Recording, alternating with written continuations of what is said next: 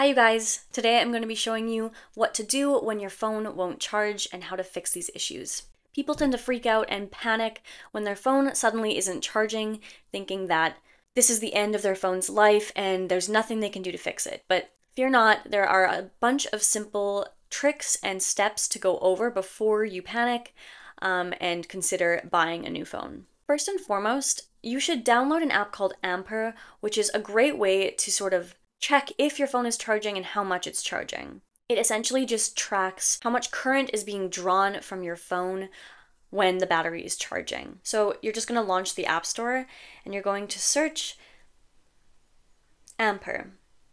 It'll be the first one here, but if you scroll down, there are a bunch of other apps that do this same thing. So if you have a preference of app, you can look into these um, and read all about them, look at the ratings, etc.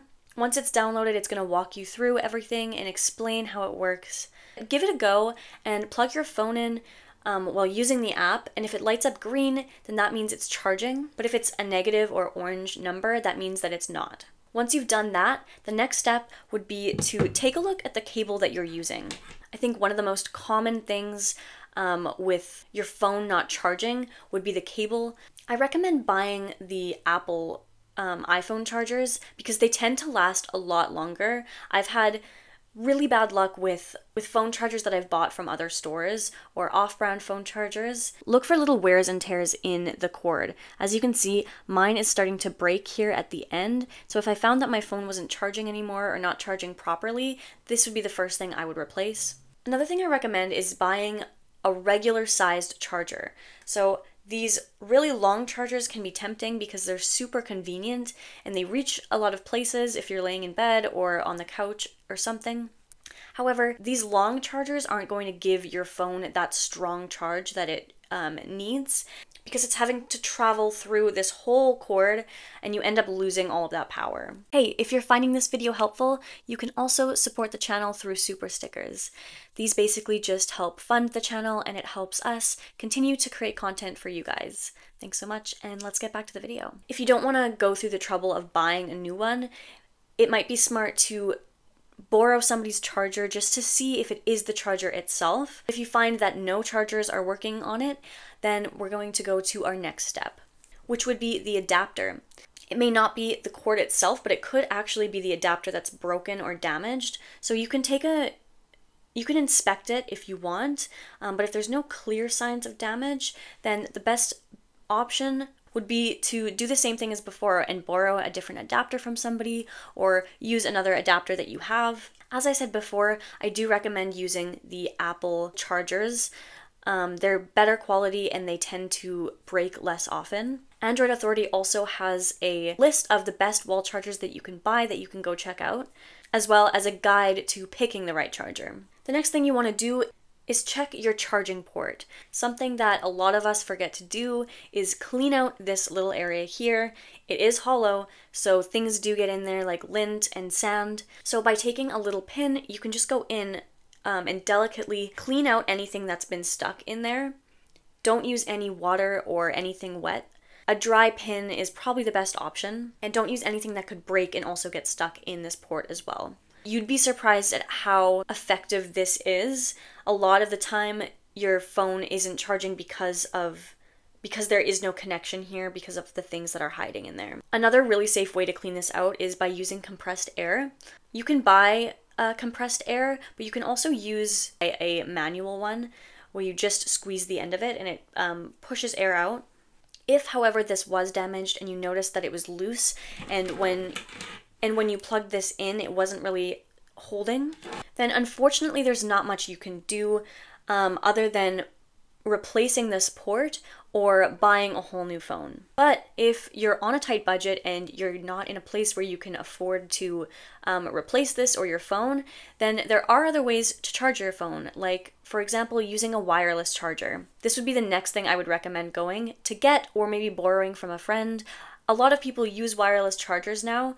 Apple and other companies are actually making phone cases um, that work on wireless chargers, but if you don't have one of those, you'll just simply have to remove your case and set it on top of the wireless charger. If for some reason your phone still isn't charging on that wireless charger, then you may have a deeper battery problem that you'll have to take care of. The next thing you want to do is try a, a, different power source. So it could be that your, your outlet is broken or just simply not working for some reason. So a really simple solution would just be to go around your house and try a bunch of different outlets. You could also test um, your current outlet by plugging in a hair dryer or something else um, that clearly shows whether that outlet is working.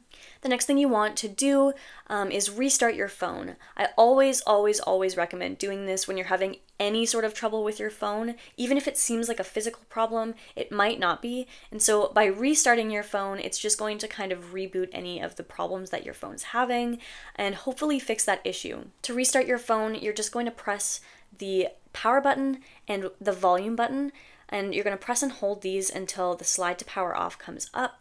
You'll slide to power off, and then you'll press and hold your power button until that Apple logo appears and your phone's going to turn back on. Another thing you can do is replace the battery. So you don't have to replace the whole phone. Sometimes it could actually just be your battery that needs to be replaced. You could also remove the battery and put it back in, and that might get it working again. If you can't afford to buy a new battery, then this could be a problem solver for you.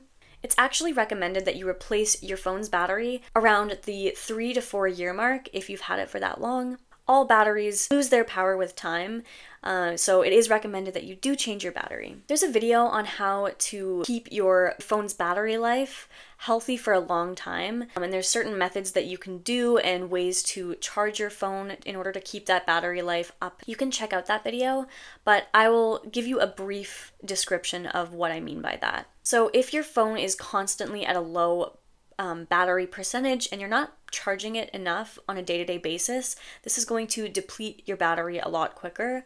So you'll have to be a bit more patient and leave your phone plugged in longer and keep it at a higher percentage all the time. If your phone has actually never died before, um, it's actually smart to let the battery drain all the way until it's dead at least a couple of times and charge all the way from 0 to 100. Once your battery has hit 100, you want to unplug it. When you keep it plugged in at that 100 for a long time, this can also start to wear on the battery. Next thing you're going to do is check for a software update in your phone.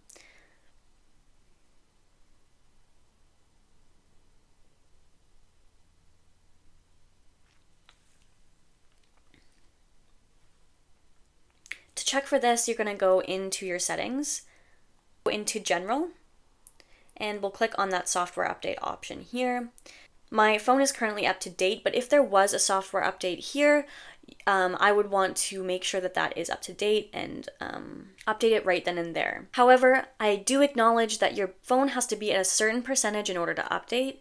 So if this isn't possible for you, then maybe using that wireless charger um, for the time being to update your phone will would be helpful to you. Otherwise, hopefully one of these other methods worked for you. If you've tried all of these and none of them have worked, then we're going to go into your last resort options. So you'll want to check your warranty or insurance. Most phones come with a one year warranty. Apple also offers Apple Care. So if something happened and it wasn't your fault, oftentimes insurance will cover that. I think you pay like a $40 fee um, to get a full replacement of your phone if you still have that warranty. If you don't have that warranty, then unfortunately, you may have to replace your phone. Hopefully, that's not the case though. Thank you so much for watching, you guys. That's it for today's video. I will see you guys in the next video.